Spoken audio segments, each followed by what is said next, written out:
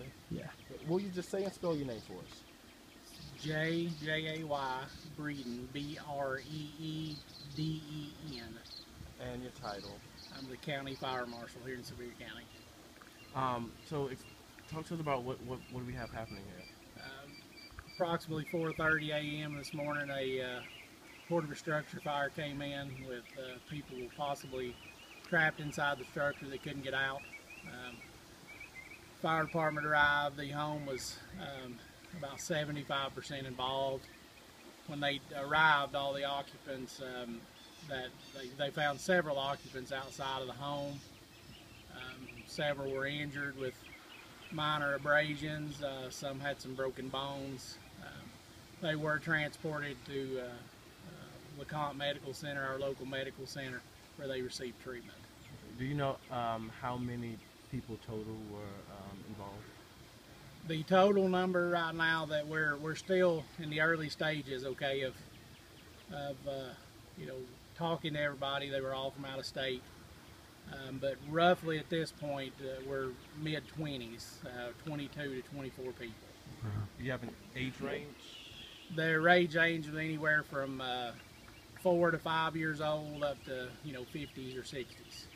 And then what state? You said they were from out of state. Yes, they were all from Indiana. Okay. And you mentioned the injuries. Um, any fatalities? Yes, there has been. Uh, one gentleman was transported to LeConte Medical Center where he was pronounced deceased. Did he die from the fire or from escaping the Where fire? It, it does appear at this point that he uh, did uh, uh, he, he did pass away um, uh, after the fire. Okay.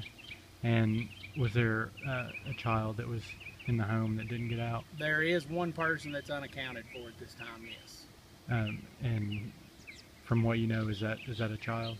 we're where the family um, has indicated that there is a, a smaller child that that is uh, unaccounted for at this time.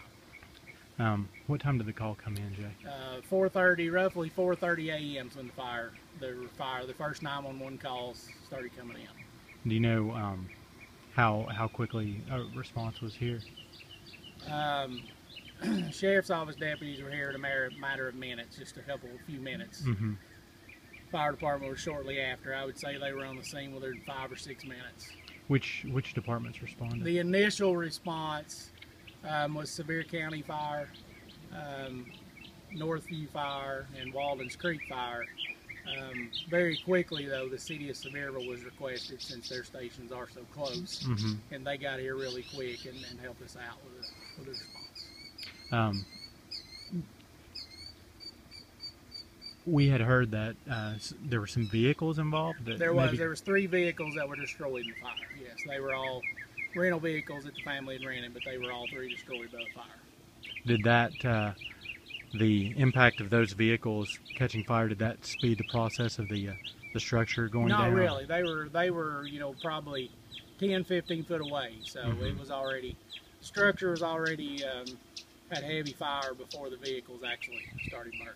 Is there any uh, any preliminary thought of, of arson, or are you guys no, looking at that? not at this point. No, we, we like I said, we're very early, but there's nothing at this point that indicates that it, that it is. I mean, we obviously have a lot of investigation to do, Mhm. but at this point in the investigation, there's nothing that points to that. No, Is there any indication of where it might have originated? no, not not yet. Okay.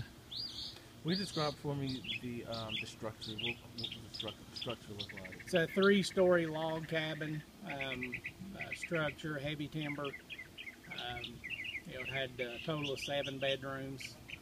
Uh, so that's that's about. I mean, you know, all these cabins, uh, especially the upper side, they kind of kind of look the same. You know, a lot of them do, but uh, it's a three-story structure. Okay. Any um, other structures uh, damaged or just The one directly next door did receive some a little bit of heat damage, uh, but nothing real intense. Now, any idea how the um, those were able to escape how did they get out? Because we were hearing that they were like had to jump from. There uh, there was several people that did um, exit the home by going over a balcony. Yes, All right. local and state officials are doing the investigation. Okay, so state state Yeah, state people. bomb and arson and the Sevier and the sheriff's office fire investigation team. Okay. Um, how many? If you had to estimate, how many men are, are working this fire? Right now, Or just total? um, well, I mean, as far as response, um, I would say there was probably 45 firemen from nine different agencies. hmm Um, the actual investigation part, there is nine total of us. Okay. All right, Anything Jason.